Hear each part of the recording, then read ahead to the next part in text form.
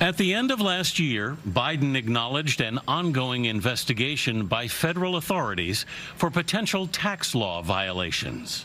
Is your legal team working on any kind of a plea deal? Oh no, I am absolutely certain that what we're doing is is being completely cooperative with whoever is asking from a, from any authority whatsoever. Mm-hmm. The implication all through the campaign was that your efforts had somehow benefited your father financially. Have you ever given your father money from any of your No. business ventures? No. Nothing. Nothing, ever, Not a nickel, not a nickel, directly or indirectly. directly or indirectly, not a nickel ever, 100%. No, never.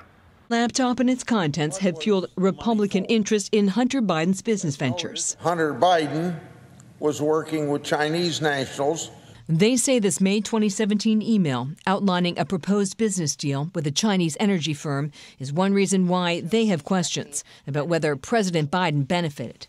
We're prepared to subpoena Hunter Biden. We would certainly hope that he would want to come before the committee and clear his name. Two of Hunter Biden's former business partners, including Tony Bobulinski, who received the email, told CBS News the 10 held by H for the big guy is shorthand for 10% held by Hunter for his father. After the email became public in 2020, the author of the email told the Wall Street Journal Joe Biden was not involved. The author has not responded to CBS News' questions. Mr. Biden has consistently denied knowledge of his son's work or financially benefiting from it.